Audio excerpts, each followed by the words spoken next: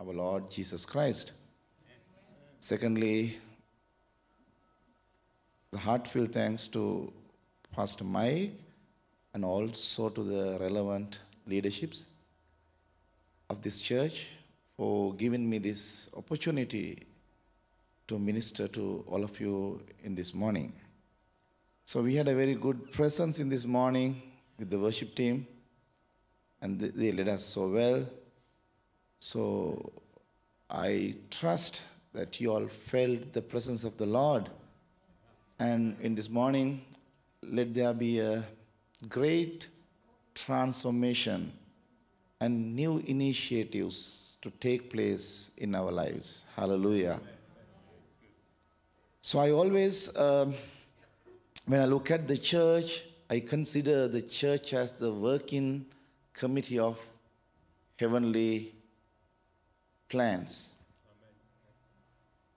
Entire church must go to the entire world to share the good news. If not, this church will not be useful. So I wish when I look at these videos and everything, the efforts that church is taking to bring up the next generation to do the will of the Lord, that will give the biggest honor and glory to the Lord. Sometimes we think that the worship is only singing, making use of the instruments, and etc. But the biggest worship that we can give is fulfill the responsibility what God has given unto their hands. So each and every one of you is given a responsibility from the heaven. I have been in the church since my birth, and I have experienced two generations, and especially uh, some of the pioneers that who ventured uh, different areas of Christian church, and I was privileged enough to get a few experiences by being with them. But still, I feel very empty when I turn back to the church. The reason for that is the church has not discovered yet what is the perfect and the real plan that God has given. People are trying to just use the experiences in their daily basis, but the purpose of the God and the plan of the God is revealing day by day with new initiatives that God is implementing from heaven to the earth. So, whatever the age that you belong to, it is not the matter. God wants to use you, and He is waiting for a chance that you give to the Lord. He's already openly given the opportunity for us to be a part of His army because none other than the salvation given unto us by Lord Jesus Christ. So He has given the salvation. So make use of that. Be encouraged. You might feel that your time is over, but yet not. The thing is, God can just link you from one stage to the other stage, one era to the other era. So let this few minutes be a time that where we will understand and commit and also make decisions for God to make use of us in a deep and effective manner. Hallelujah. So, in this morning, um, let us turn to the book of First Samuel, chapter 1, verses uh, 1 to 9, that we are going to meditate on it. So, dear loving brothers and sisters, how do you feel by being in the presence of the Lord? Is it just an encouragement or just a nourishment that you take by being in the presence of the Lord? Or have you started to invest in the kingdom of God? Not only finance, but the spiritual anointing that the Lord has poured on you. That is very important. So people today they have started to realize on the anointing of the others. What do you think about you? God never said it is only been meant for few, but it is for each and every one of us. Can you say amen for that? Amen. So God is ready to take a man or a woman out of the grave, as you all were singing, to take you out of the grave and to make you a living creature to the dying world. But it is once again your decision, your decision, not his decision. He has already decided. Your decision is very important. So, in this morning, I feel in my spirit Though that you all have been huge containers of experiences, having so much of values in your life, still that some of you all have to make the decision to just overcome where that you have been trapped, where you have been just entangled with the worldly things, you need to come out of that. You already been set free but feel the liberty by serving the Lord. That is very important. So uh, when we come to first uh, book of Samuel, chapter 1, I do believe that all of you all must have read this part.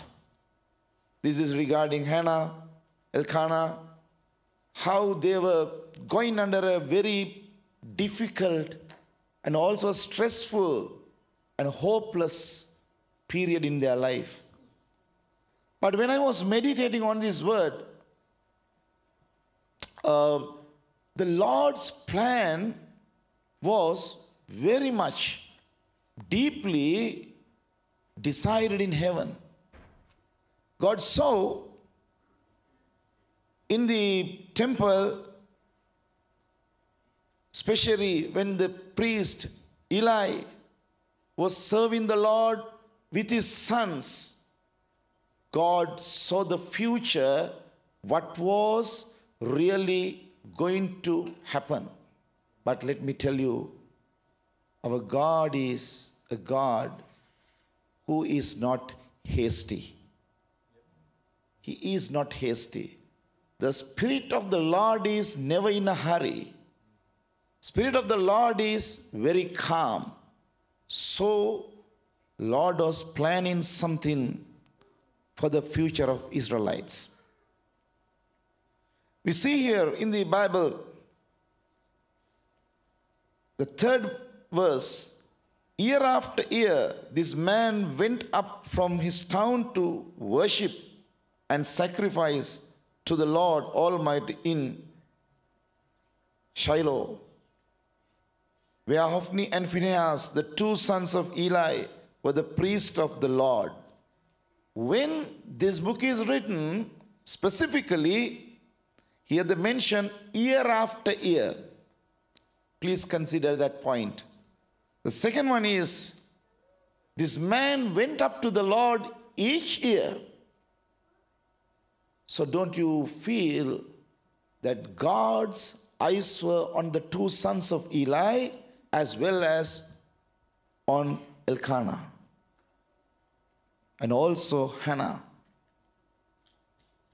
The Lord was focusing on them. But to be very honest, here the priest, he himself did not understand the plan of the Lord. Either Elkanah and Hannah, they did not understand, even the two sons of the priest, but they were serving the Lord they were doing the work of the Lord. The rituals were performed in the church, but God's plan was something else. God knew very well how the corruption is arising in the midst of this church and how it is being misled. But God wasn't hasty. God was not in a hurry to make a decision. But purposely, I feel biologically here, the Hannah was perfect. Elkanah was perfect. We have enough evidence to say Elkanah was perfect because Peninnah had children. Here, God wanted Hannah to be kept all along. And God gave us so much of a burden heart. And God is just making her to train in the presence of the Lord to be God fearing. Not only that, a faithful lady. Not only God fearing, a faithful lady. So, today in your life, you may be going under a situation where that you may be feeling so much of anxiety and you may feel that you are just empty and you are hopeless. Don't you think if you just come into the position of Hannah, the same God Almighty is focusing on you. He's focusing on you. He's focusing on you, dear brother and sister. So if you are really open widely your hearts to the Lord in this morning, you are not going to be same. There is something which is going to just make a transition in your life in this morning. You will never forget this morning, dear brother and sister. Mind that. Mind that. Let us uh, go to the verse here.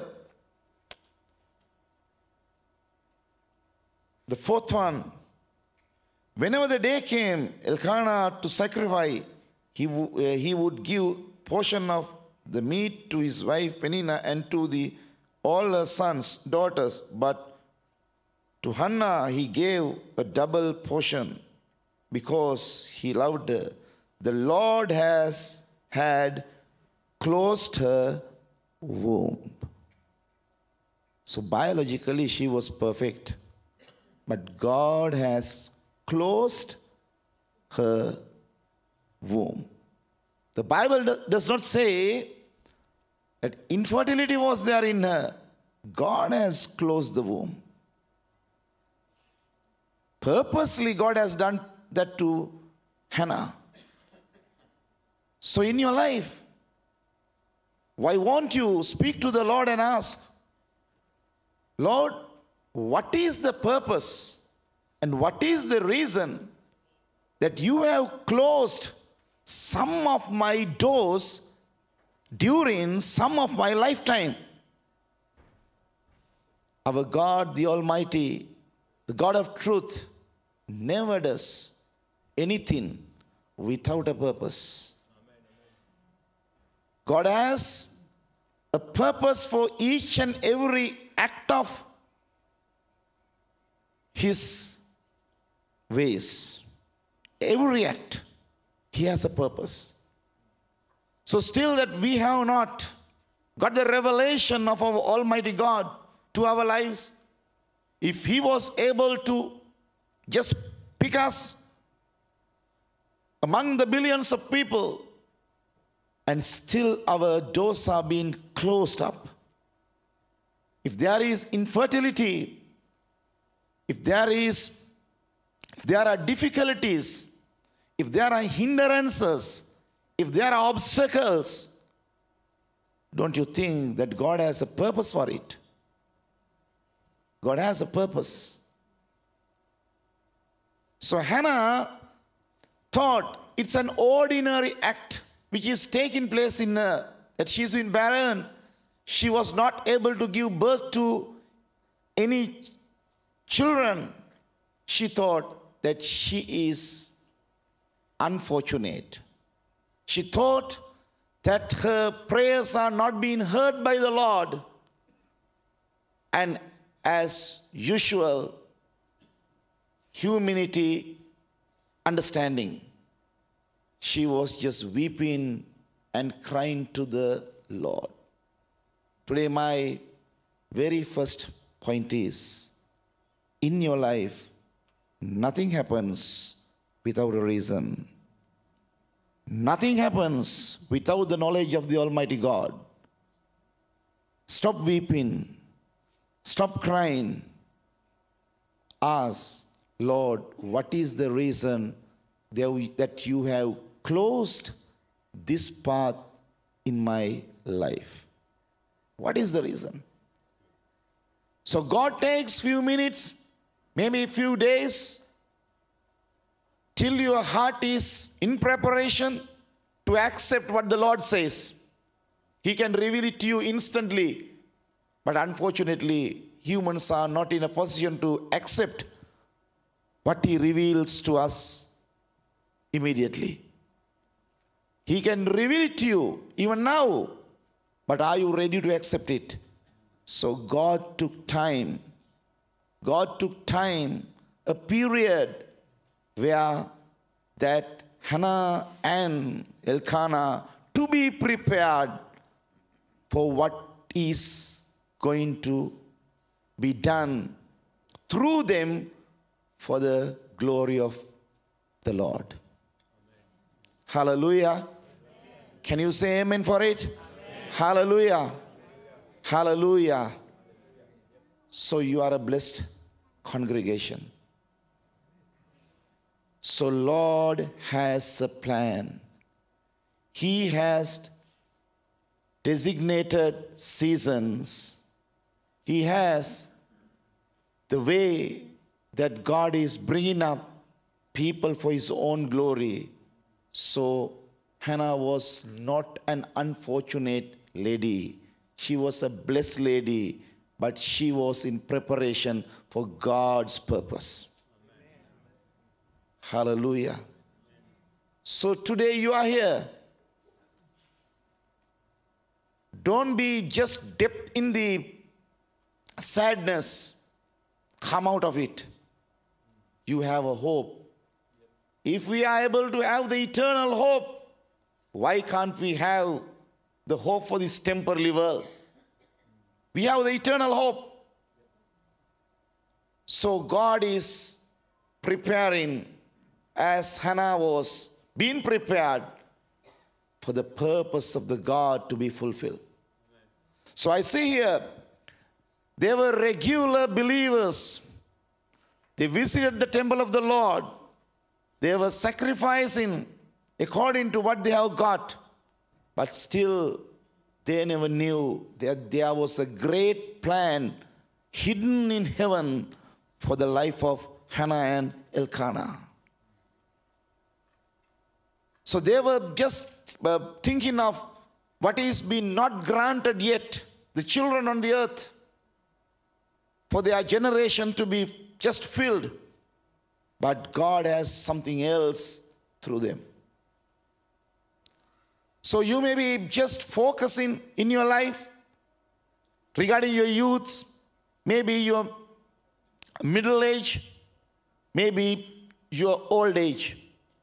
You may be thinking of the seasons and times of this earth, but God is having some eternal plans to be implemented and to be established, and also to have a manifestation through these establishments through your life.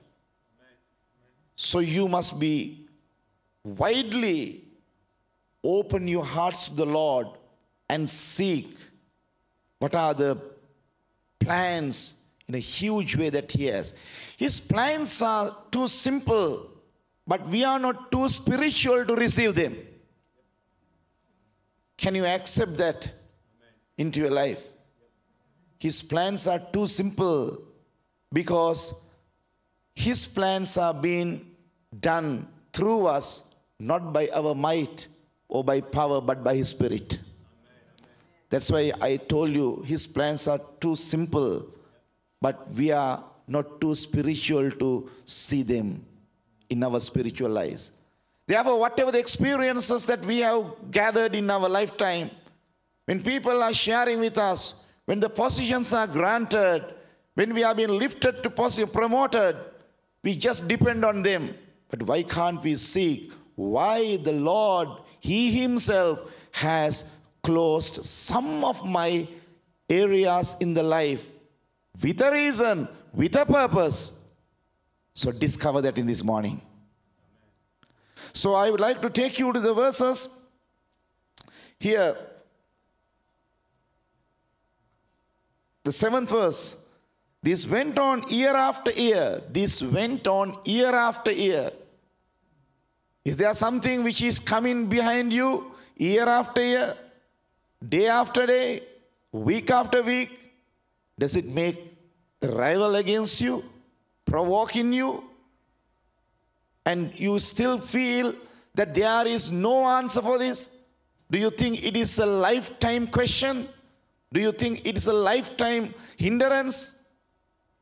No, the year after year, the rival is there, provoking you, but year after year, God's purpose is behind you. Hallelujah. Hallelujah. So discover it, grab it, take it to your spirit. You need to make a decision. I see something here. Now, if we just go theologically into this chapter, we see these uh, Eli's sons were very elderly characters. Now, there is no time for God to just bring somebody from the childhood to this maturity to do the will of the Lord because then, then there will be a vacuum.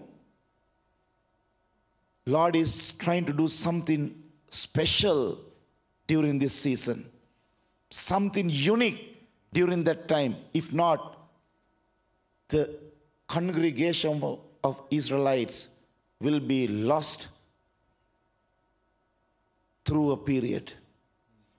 Because they were not practicing what God has said. These sons were in uh, evil desires. They, they were not God fearing priests. Whatever they have done in the sight of the congregation and also in the sight of the Lord, not, it was not right. As a result of that, the fear of the Lord was vanishing from, from that congregation. It was a corrupted church going in the way that Satan wanted. Then Lord wanted something unique to take place. What is the reason? Because his honor will not be given to anybody. He doesn't want that to happen. His holiness should not be criticized or demoted by anybody because he is holy. He is worthy. None other than him. So now is the point. Now, this is the mystery that you must catch up in this morning. If God has taken a long period of time for you to give an answer, if your ways are being blocked, don't try alternatives. Your God is same yesterday, today, and forever. So our mistake is, our failure is that we try to taste our God in different ways. But He is the same God and He is the same taste. So that is a mistake that we do. Sometimes we try to taste our God by changing the churches, sometimes by changing the pastors, sometimes the way that we are worshiping. But our God is same. He is yesterday, today, and forever, and His taste does not change. He is the same God. Hallelujah. We see some influence in the churches. So they sometimes they try to taste God in the different ways. So we'll have to just uh, forgive them. We will have to tolerate that. Because the reason is God is just about to show the real taste of Him to that particular person. So here what is happening is now We see in the um, eighth verse, Elkanah, her husband, would say to her, Hannah, why are you weeping? Why don't you eat? Why are you downhearted? Don't I mean more than you than ten sons? So he was trying to comfort as much as he can. Much as he can. But God is not speaking even a single word to Hannah because that was a spiritual dealing that God had with Hannah. So, in this morning, to have a transformation in your life, to open the closed doors, it is not a physical dealing, it's a spiritual dealing. You must go to the depth of your spirit and deal with the Lord that He shall reveal what He is going to do. Now, Hannah made a vow. That is the agreement. Till that agreement comes out of her mouth, God was waiting. He didn't want to tell Hannah that I have chosen you for this purpose. No, Hannah decided that if you give me a son, that child will be given to you in all the days of his life. Now God decided, still, trust me, Hannah is not conceived. No conception has been done. Now, what God is going to do is, once the conception is going to take place in the womb of Hannah, He is going to anoint that conception with highest anointing as a prophet to come out of from the womb of Hannah. So there is a little period of time a young man has to raise. Young man has to uh, stand up as a prophet and he will have to take care of the nation of Israelites. So there is no time for God to train him. Therefore, God decided now Hannah is ready and her heart is ready. If I anoint a person in the womb of Hannah, that definitely she will hand over to me the child, and that child will have the heart to follow me, and I'm going to use that child. Just see the work of the Lord. So, pastors do not have to decide about your life. Your decision will show the destiny of your life. Your decision. So now, where are you being misled? Where are you being just lost? Come back to your life in this morning. Come back to your life. And are you trying to find God every day in different ways? He is almighty. He is omnipotent. He is omniscient. So he will not change. So you do not have to try in different ways. He is same God. If you want to be connected to God, there is only one way. He is the way, He is the truth, and He is the life. He is Jesus. So you don't have to try in different ways. There is only one way, there is only one truth. So are you still not known the truth? Are you still trying to find the truth? And meet the truth in this morning. He is Jesus. Through Jesus, if you understand your situation, if you are still struggling, teenagers in your life, do you feel that there is no hope? Just connected to God. Start the relationship with God through Jesus, not by any other way. And you will have to understand that you are being closed in some areas due to a reason that heaven needs. Due to a reason the heaven needs. Heaven is ready to take control of your life. Even the fruits of your life that God will utilize for the purpose of the extension, the expansion of His kingdom. Amen. Dear loving brothers and sisters, I wish that this word will be put into your life as a seed and deeply rooted, and it shall bring out the purpose of God through this church, through your ministries, through your lives. And if you struggle even one night, even one hour, today you cannot forget this message. You'll have to realize there is something spiritually happening to me. I will have to decide the dealing with God. Can you remember that Moses was chosen by God and God spoke to him? And while he was coming with his wife, in that night he had a very, very huge struggle. What was that? Spiritual dealing. For a sanctification of his sons. Spiritual dealings do not meet with fleshly things. Flesh is flesh, spirit is spirit. Understand these two separately. So, in this morning, shall we raise on our feet and be bowed to the holy throne of God? Now, do you understand why that you have been blocked on your way in this spiritual journey? Why that you suffered in some seasons? Did you think that it was Satan troubling you?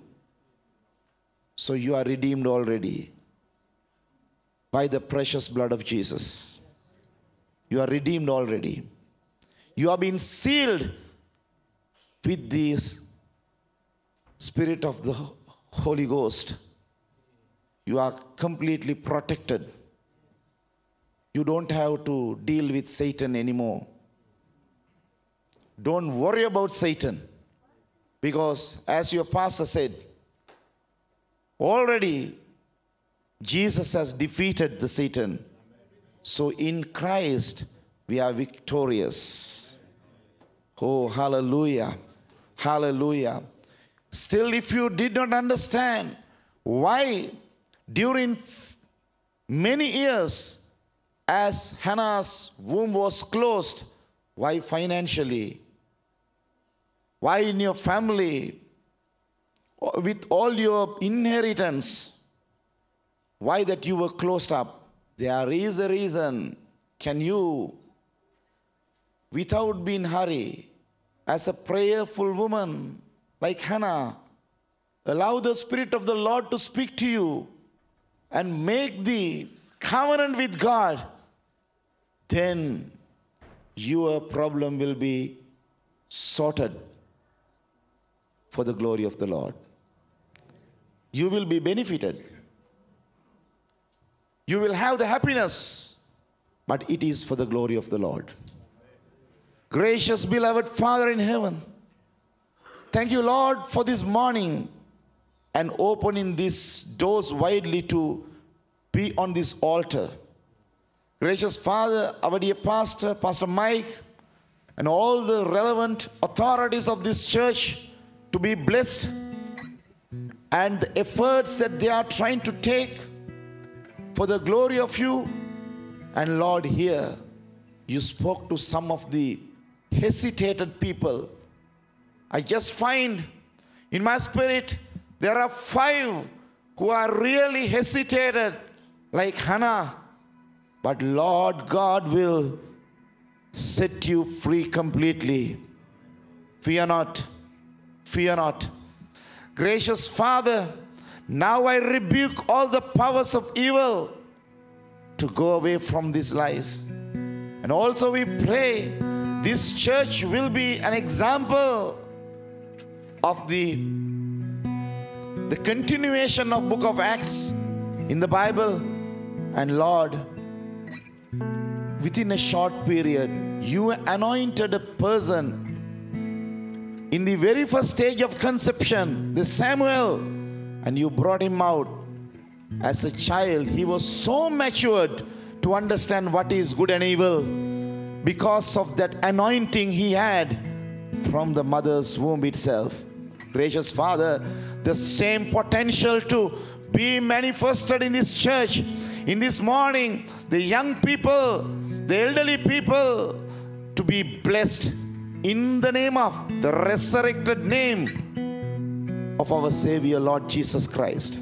Gracious Father, let the Spirit of the Lord to be hovering in the midst of this church and be entered into the hearts of the people and have captured their entire lives and use them in Jesus' name I pray. Praise God for this opportunity.